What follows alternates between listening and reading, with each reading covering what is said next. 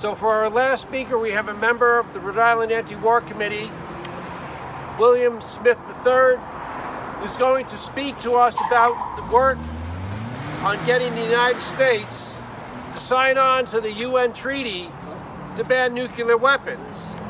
And uh, he'll tell you more details, but the nuclear powers are steadfastly refusing to sign on to that agreement, which is really in the interests of peace and security in this world.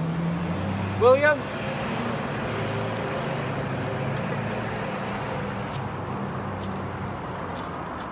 Just push the button keep it close. Friends, deep down in our psyches, all of us are terrified of these weapons, which is why we don't talk about them. We ignore them in our daily lives and we put them out of our minds. But the weapons are still there, hidden in the ground in the sea, ready to go off at any time. These weapons don't protect us, they threaten us. If you look on Wikipedia, there are at least 15 times known in the public record when nuclear war nearly happened, brought on by accident, miscalculation, technical failure, miscommunication, an unstable leader, or an international crisis. And the weapons threaten not just us North Americans and Russians, but people all over the earth. A nuclear war would bring on a nuclear winter. Skies would darken and block sunlight, plants would die, and humans, insects, and animals would starve worldwide. To make matters worse, our government is readying plans to make more of these terrible weapons and the delivery systems for them. Some of them right here in our little state of Rhode Island. Are the USA, Russia, and other nations going to hold nuclear weapons forever into the future? Impossible. Sooner or later, an unplanned disaster would overwhelm us.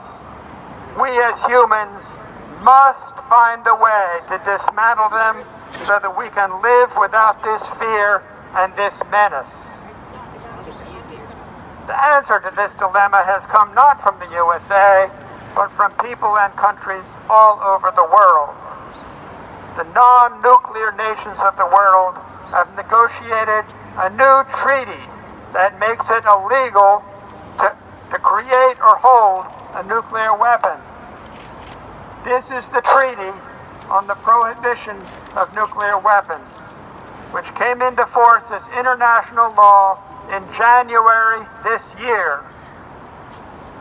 Our government and our military leaders have ignored this treaty.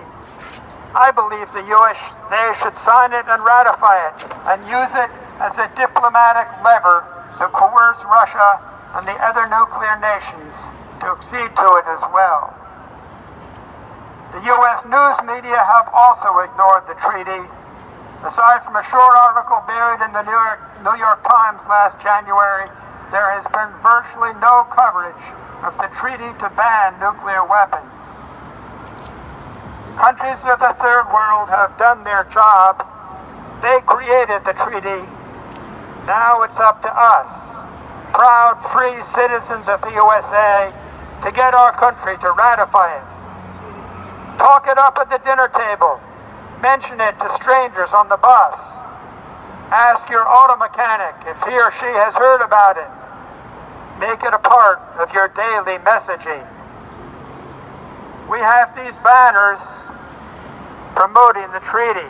At any time, any place that you would like to see these banners displayed, give me a call and we'll display them in public to raise awareness of the TPNW Treaty. And a special note to all of you under 23. Lots of you here today. Most of us promoting this treaty have white hair and we're simpletons at using social media for us, a telephone is attached to the wall and has a round dial that goes click, click, click. So put this treaty on your Facebook your TikTok, Instagram, your Twitter feeds, and help us get the message out by social media to all North Americans. This treaty exists and it must be ratified. It might save your life.